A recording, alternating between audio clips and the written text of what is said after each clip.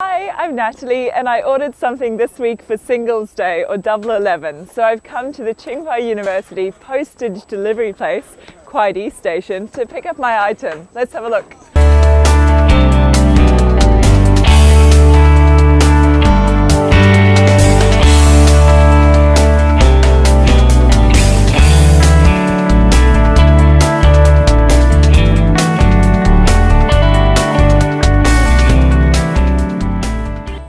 Okay, so now I'm going to introduce you to some of my friends and they're going to tell you about the differences between the postage system in China and their countries, as well as tell you about their opinions of Double Eleven.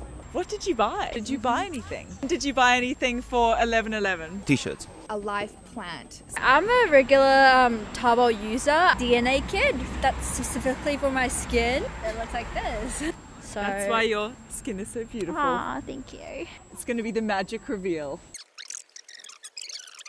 My new French press. How long does it normally take for things to arrive after you've bought them? I was ordering it uh, before 10 a.m. Uh, in the morning, and um, actually the package arrived. My phone arrived uh, on my birthday, the same day uh, before 4 p.m. That was actually a yeah pretty cool birthday present. Um, Incredible! that is so yeah. fast. two or three. I'd say two is the most. I was told that uh, on 1111 in particular, your Kuaidi might take a little bit longer to get to you, but Yeah.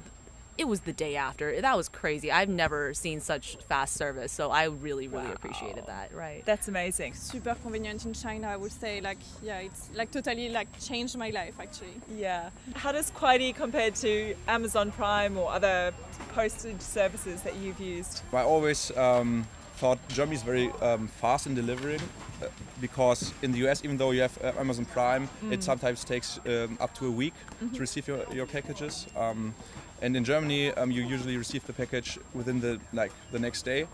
And uh, yeah, so I was very surprised that in such a big country, um, they are somehow able to manage to deliver within one day sometimes. Yeah. You've bought obviously in China. How does it compare to buying in France? In France, I don't usually buy online because like the system in France is totally different. It's not that convenient. It takes time to get like anything when you buy something online. So no, most of the most of the time in France, I just buy something like like in the shop.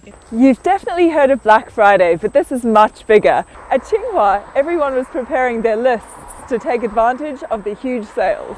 What a crazy exciting week it's been. I hope you scored yourself some bargains, but if not, hang out for the 12th of December, where you will have your second chance because it's double 12.